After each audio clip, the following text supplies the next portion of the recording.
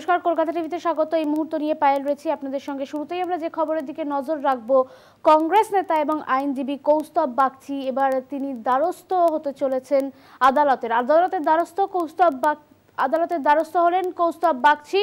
তাকে গ্রেফতার করা নিয়ে আদালতের দ্বারস্থ হলেন কৌস্তব বাগচি। বিচারপতি ইতিমধ্যেই গ্রেফতারির প্রতিবাদে আদালতের দ্বারস্থ কৌস্তব বাগচি। কংগ্রেস নেতা আইনজীবী কৌস্তবের বাগচি কৌস্তব বাগচি আদালতের দ্বারস্থ বিচারপতি রাজাশেখর মান্থার দৃষ্টি আকর্ষণ। আগামীকাল শুনানির সম্ভাবনা। মামলা দায়েরের অনুমতির আগামীকাল শুনানি।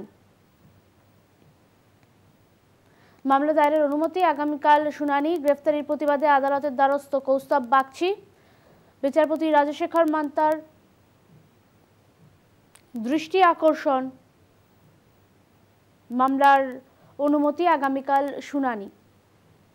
আদালতের দ্বারস্থ কংগ্রেস নেতা এবং আইনজীবী কৌস্তব বাগচি গ্রেফতার করা হয়েছিল তাকে। দীর্ঘক্ষণ জিজ্ঞাসাবাদ করার পর গ্রেফতার করা হয় কৌস্তব বাগচিকে। মুখ্যমন্ত্রীর উদ্দেশ্যে অপ্রীতিকর মন্তব্য করায় গ্রেফতার করা হয় কলকাতার কংগ্রেস নেতা এবং আইনজীবী কৌস্তব বাগচিকে।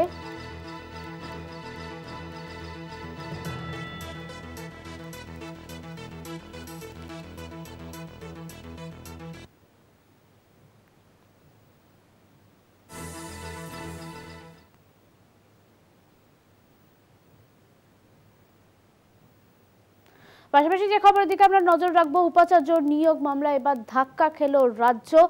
ইতিমধ্যেই ডিভিশন বেঞ্চে ধাক্কা খেলো রাজ্য। ইতিমধ্যেই জানানো হয়েছে যে উপাচার্যদের মেয়াদ শেষ হয়ে যাওয়ার পর পুনর্নিয়োগের কোনো রকম পুনর্নিয়োগে কোনো রকম অধিকার নেই রাজ্যের।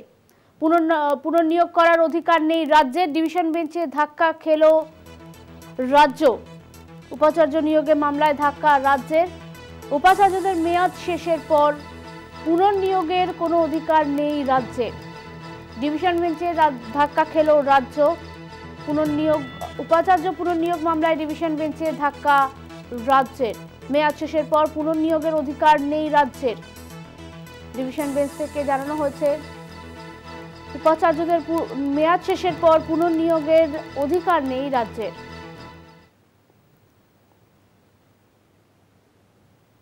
এই মুহূর্তে এই পর্যন্ত অন্যান্য সমস্ত খবরের জন্য নজর রাখুন কলকাতা টিভিতে, রাত দিন সাত দিন।